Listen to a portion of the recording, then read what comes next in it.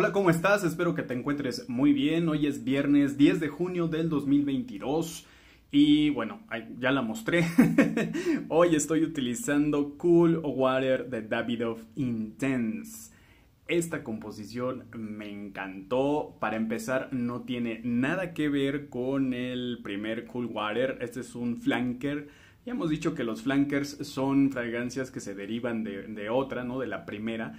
En este caso, Cool Water de Davidoff tiene muchos flankers. Este es uno más, es la versión Intense. Si te fijas aquí, es un Eau de Parfum.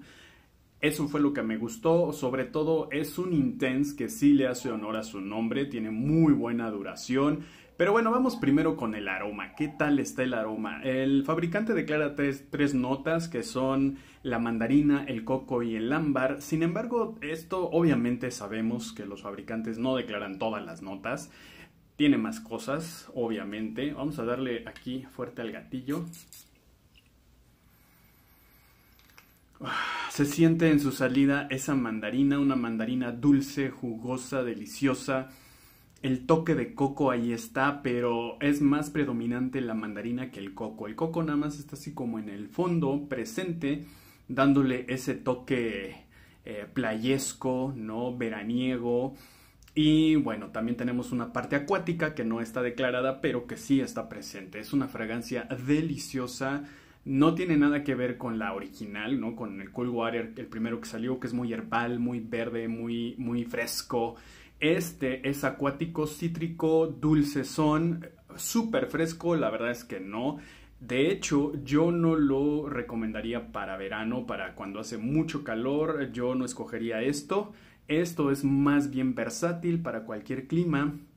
Primavera, verano, otoño, invierno es perfecta. Es la clásica fragancia azul, súper versátil, eso sí.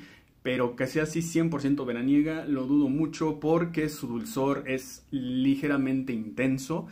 Eh, a tal nivel que yo creo que con temperaturas muy altas, ¿no? De a 30 grados para arriba, ya sería un poco incómodo vestirla. El aroma es sensacional, pero no creo que sea una fragancia veraniega, definitivamente. Más bien es una fragancia para cualquier clima. Cumplidos, por supuesto, huele riquísimo esa mandarina y el coquito y el ámbar. Está deliciosa, deliciosa, te la recomiendo ampliamente. Eh, vuelvo a repetir, no tiene nada que ver con el original. Si el, original no te gustó, no eres fan de ella, prueba esta. Nada, nada que ver, el aroma es sensacional. Va con la tendencia actual frutal, dulcecito, maderoso es esto. Digo, no, no están descubriendo el hilo negro, pero bueno, es una combinación rica que se agradece. Duración muy buena, estamos hablando de 7-8 horas, es una muy buena fragancia, tiene buena proyección también, te van a oler a 2-3 metros que andas por ahí con este aroma y pues bueno, es una fragancia definitivamente que debes de probar si eres fan de la línea. Recuerda que este es mi reto personal de traerte mi fragancia del día todos los días durante el 2022. Déjame en los comentarios si ya la conoces, qué tal te ha ido con ella. Es una muy buena fragancia. Déjame en los comentarios y si no, pues también déjame aquí qué fragancia estás utilizando el día de hoy. Siempre es bien interesante saberlo. Bueno, pues te mando un fuerte abrazo. Apesta fin de semana. Cuídate mucho, no te excedas. Por favor, cuídate. que tengas un excelente día. Y música.